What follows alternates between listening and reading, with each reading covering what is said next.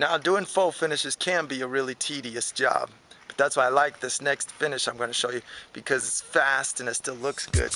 Check out what I'm doing to this garage door right here. Since I can't use faux glaze outside, I've got to find something else. So this is what I did. I had a uh, Tony down at Sherwin-Williams give me this ultra deep base and that is an exterior finish paint. I just had him put only a quart worth of formula so that it dries like a glaze. It has a clear base so that if it didn't have any tint, you wouldn't even see it on the wall really. But with the tint in it, it behaves just like a faux glaze. And I put a lot of latex extender in there so that my open time's a little bit longer. I need time to work that. And the exterior paint dries really fast. So I both put water and a lot of that extender in there. You'll find that there is a lot of difference in the way the top coat handles depending on the sheen of the base coat. If I used a flat, it would stick and absorb into the surface. And if it's semi-gloss, if it's too shiny, then it slips around too much. For the base coat, I'm using this Sherwin-Williams Solo Satin. I'm just gonna put some water on here. And then I'll take this, it's this easy. I'm just gonna get creative with some lines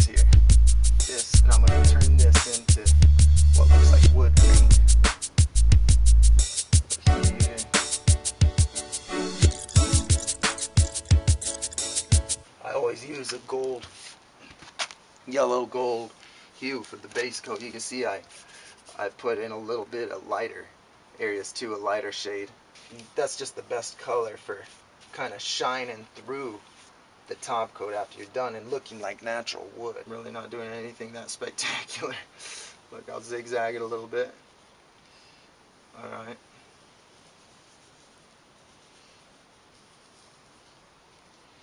Some stuff like that. Maybe over here we'll go up like this. The next tool I'm going to use is a dry brush. This is just the same kind of brush as this one, but dry. I usually let it tack up a bit before I start doing this. The strokes are light, really light, and you're catching it with the edge at this angle, like this. You don't want to get it with the tip that digs in too much. Light and quick, like this. Because you don't want to pull that too much, it'll ruin your texture there. It's another technique you can use with this stuff by putting wet on top of tacky. When I pull across this, it's gonna pull it right off. It's not so much in it's not so much in how much detail you can get in it, but it's always how well you do the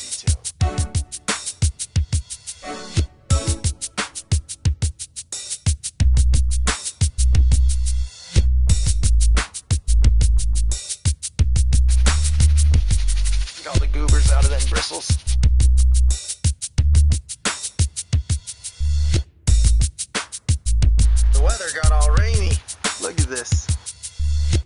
actually good for my project because the open time on this paint is ridiculously long when you're at 100% humidity.